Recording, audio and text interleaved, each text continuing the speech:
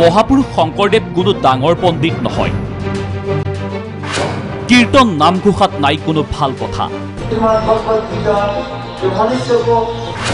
নামঘৰত মূৰ্খইহে জ্বলাই মিঠাতেলৰ চাকি।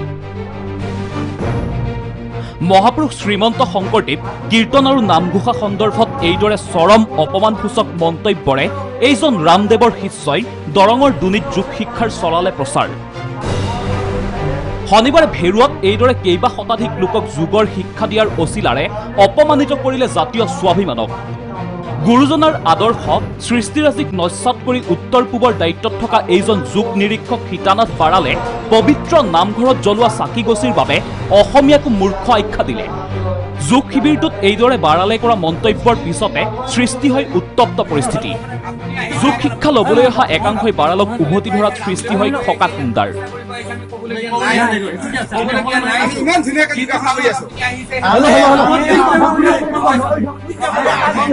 পৰিস্থিতিৰ সুযোগ বুজি সীতানাথ বাৰাল নামৰ এই অল্পমতী ৰামদেৱ শিষ্যই যোগ শিবিৰ এৰি পলায়ন কৰে। বাৰালৰ অপমানসূচক মন্তব্যত এতিয়া ৰাজ্যজুৰি সৃষ্টি হৈছে তীব্ৰ প্ৰতিক্ৰিয়াৰ। দৰঙৰ বিভিন্ন দল সংগঠনে প্ৰকাশ কৰিছে তীব্ৰ প্ৰতিক্ৰিয়া।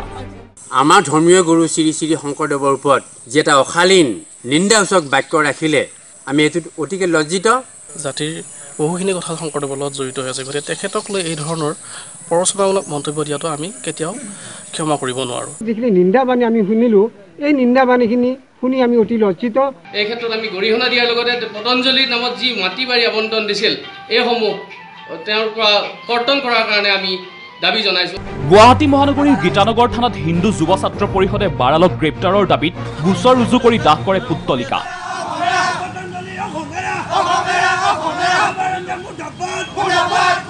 বাৰালাক আমি তীব্ৰভাৱে ভাষাৰে গৰিহণা দিছোঁ আৰু অসম চৰকাৰক তথা ভাৰত চৰকাৰক আমি দাবী জনাইছোঁ যে অতি শীঘ্ৰে তেওঁক এৰেষ্ট কৰিব লাগে। এই ঘটনাটো আমি তীব্ৰভাৱে পতৰ্জক থান পৰিচালনা সমিতিয়ে আমি গৰিহণা দিছোঁ।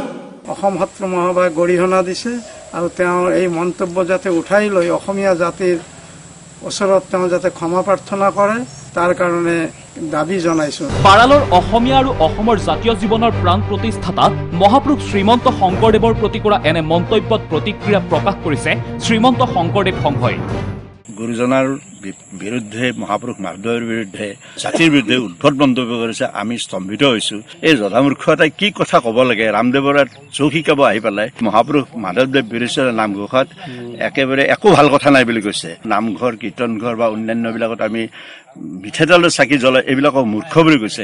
এই- উদ্ভট মন্তব্য কৰা এই জধামূৰ্খসকলে আহি অসমীয়া জাতিৰ স্বাভিমানতা আঘাত কৰা তাৰ কোনো আচলতে এইবিলাক সহ্য কৰিব পৰা কথা নহয়। সত্ৰপীঠ মাজুলীতো যোগগুৰু ৰামদেৱৰ শিষ্যৰ এই কাণ্ডই সৃষ্টি কৰিছে প্ৰতিক্ৰিয়াৰ। আমাৰ কাৰণে অতি দুৰ্ভাগ্যজনক আৰু আমাৰ অসমীয়া জাতিসত্তা সংস্কৃতি ধৰ্মৰ সকলো ক্ষেত্ৰত এক চৰম আঘাত সানিছে সেইজন ব্যক্তিক অসমৰ ৰাইজৰ ওচৰত ক্ষমা খুজিবৰ কাৰণে আমি দাবী জনাইছোঁ।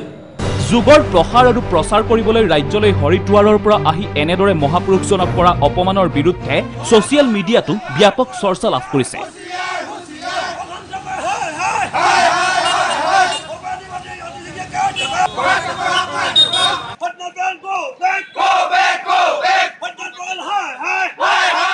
Bureau Report, DY365.